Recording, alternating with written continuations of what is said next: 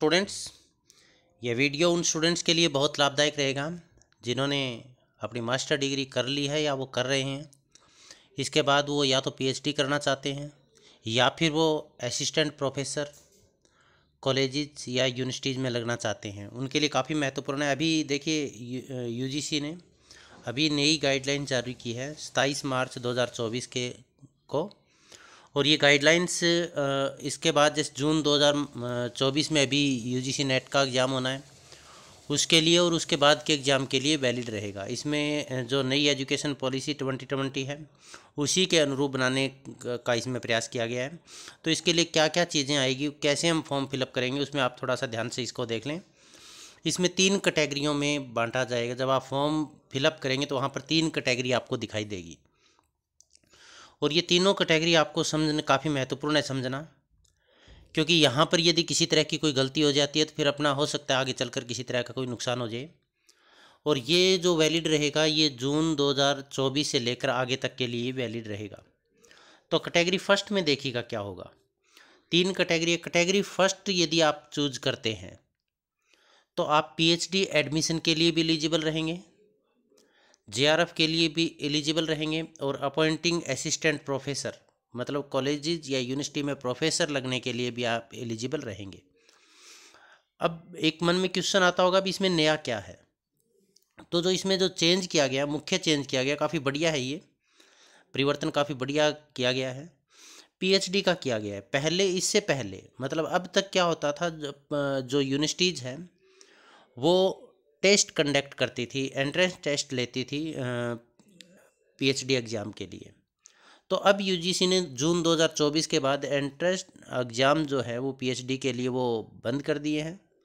उनके लिए जो नेट क्लियर होगा, उसी के स्कोर के बेस पर पीएचडी में दाखिला दिया जाएगा। तो ये बहुत इम्पोर्टेंट है यहाँ पर समझना। अब हम कौन सा कैटेगरी फिलअप करें? तो यहाँ पर सबसे पहले हम ये समझेंगे। जैसे तीन कैटेगरी यहाँ पर दी गई है और एक इसमें ऑप्शन लिख रखा है जेआरएफ का। तो जेआरएफ की जो एज लिमिट है वो थर्टी ईयर्स है। अब यदि कोई बच्चा है वो तीस साल से अधिक उसकी एज हो गई है तो वो कैटेगरी फ़र्स्ट में नहीं जा सकता। क्योंकि कैटेगरी फ़र्स्ट में क्या लिखा हुआ है? Eligible for admission to PhD with JRF. तो उसका जेआरएफ तो वैलिड नहीं होगा। तो जे वैलिड नहीं होगा तो इसका मतलब उसे विदाउट जे वाले में जाना पड़ेगा। और विदाउट जे वाले में जाएगा तो फिर उसे कैटेगरी नंबर टू चूज़ करना पड़ेगा, जिसकी एज है वो जे की यूजीसी गाइडलाइंस के अनुसार एज लिमिट क्रॉस कर चुका है यदि कोई बच्चा तो वो फिर कैटेगरी टू में जाएगा। अब कैटेगरी टू में क्या होगा? वो पीएचडी के लिए तो एलिजिबल रही रहेगा। यदि उसका क्लियर हो जाता है तो इसके साथ साथ कॉलेज में प्रोफेसर लगने के लिए भी वो असिस्टेंट प्रोफेसर लगने के लिए भी वो एलिजिबल रहेगा। तो फिर कैटेगरी वन कौन चूज़ करेंगे?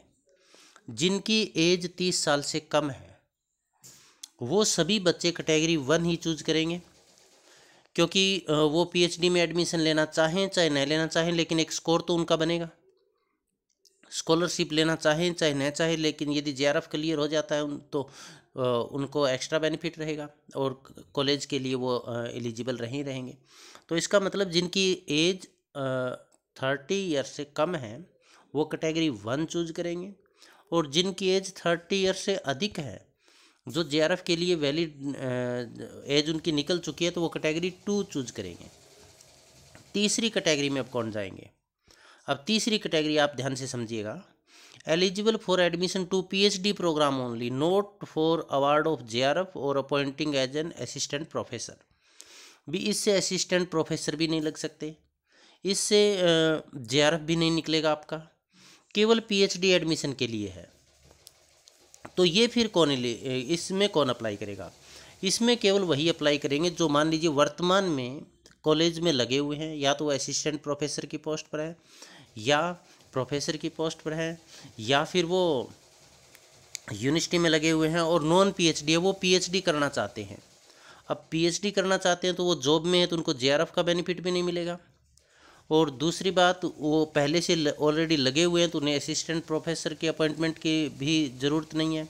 तो वो कौन सा ऑप्शन ऑप्ट करेंगे? वो कैटेगरी थर्ड ऑप्ट करेंगे। एक बार फिर देख लीजिएगा, जिनकी एज तीस साल से कम है वो कैटेगरी वन चूज़ करेंगे, जिनकी एज तीस साल से अधिक है और जो जे के लिए उनकी एज निकल चुकी है, वो कैटेगरी टू चूज़ करेंगे। और जो ऑलरेडी कॉलेज में लगे हुए हैं प्रोफेसर की पोस्ट पर लगे हुए हैं, उन्हें मात्र पीएचडी करनी है तो वो कैटेगरी तीन चूज़ करेंगे। अब यहाँ पर एक क्वेश्चन और यहाँ पर क्लियर होना चाहिए। अब मान लीजिए जून 2024 में किसी बच्चे ने ये कैटेगरी तीन या कैटेगरी दो या फिर कैटेगरी ए के लिए अप्लाई किया और उसका वो क्लियर हो चुका है टेस्ट। अब वो पीएचडी में एडमिशन लेना चाहता है तो उसका सिर्फ़ एक साल के लिए वो वैलिड रहेगा। नेट तो उनका लाइफ टाइम वैलिड रहेगा असिस्टेंट प्रोफेसर के लिए अपॉइंटमेंट होने के लिए तो उसका लाइफ टाइम वैलिड रहेगा। लेकिन पीएचडी के लिए उनका सिर्फ़ एक साल के लिए वैलिडिटी रहेगी। अगले साल उसे फिर दोबारा से वो नेट का एग्ज़ाम देना पड़ेगा। जैसे मान लीजिए, मैं वर्तमान में कॉलेज में लगा हुआ हूँ और मुझे अब पीएचडी करनी है तो नेट तो मेरा पहले से है क्लियर लेकिन मुझे पीएचडी करनी है तो वो पहले वाला नेट मेरा वैलिड नहीं रहेगा। इस सेशन में मुझे पीएचडी करनी है तो इस सेशन में मुझे नेट का एग्ज़ाम देना पड़ेगा। उसके आधार पर जो मेरा स्कोर रहेगा, जिस यूनिवर्सिटी से मैं करना चाहता हूँ, उस स्कोर के बेस पर मेरिट बनेगी और उसी के आधार पर जो एडमिशन है वो होगा। तो जिसका जे आर एफ़ क्लियर हो जाता है, वो फिर यूनिवर्सिटी अपनी गाइडलाइंस के अनुसार उसका इंटरव्यू भी लेती है और फिर उनके पश्चात उनका पीएचडी में एडमिशन होता है। तो क्लियर हुई ये बातें? एक बार फिर देख लीजिएगा। आपकी एज बिलो थर्टी है तो कैटेगरी वन ऑप्ट करेंगे। आपकी एज मोर देन थर्टी है, जे की एज निकल चुकी है तो आप कैटेगरी टू ऑप्ट करेंगे। पहले से आप असिस्टेंट प्रोफेसर लगे हुए हैं और केवल मात्र पीएचडी आपका उद्देश्य है। पीएचडी करना चाहते हैं तो कैटेगरी नंबर थर्ड ऑप्ट करेंगे। देखिएगा गाइडलाइंस इन्हीं तीन कैटेगरी के आधार पर यहाँ पर और क्लियर बताया गया है। ये यूजीसी की गाइडलाइन है। अब यहाँ पर आप देखें determine determination of eligibility of NET for different categories in is summarised below category one है। हमने आपको पहले ही बताया था अभी जिनकी एज बिलो थर्टी है तो वो कैटेगरी वन ऑप्ट करेगा। तो उसका जे भी वैलिड होगा। असिस्टेंट प्रोफेसर के लिए भी एलिजिबल है वो और पीएचडी के लिए भी एलिजिबल रहेगा। यदि आपने कैटेगरी टू ऑप्ट की है तो कैटेगरी टू में आप जे के लिए एलिजिबल नहीं रहेंगे क्योंकि आपकी एज है, वो निकल चुकी है आप मोर देन थर्टी ईयर्स हो चुके हैं, लेकिन आप असिस्टेंट प्रोफेसर के लिए एलिजिबल रहेंगे और पीएचडी के लिए एलिजिबल रहेंगे। कैटेगरी थ्री यदि आपने ऑप्ट की है तो यहाँ पर आप देखिएगा, यदि कैटेगरी थ्री ऑप्ट की जाती है तो इसमें जेआरएफ के लिए भी वैलिड नहीं है, असिस्टेंट प्रोफेसर के लिए वैलिड नहीं है, ये केवल पीएचडी में एडमिशन के लिए वैलिड रहेगा। और कितने साल के लिए? केवल मात्र एक साल के लिए।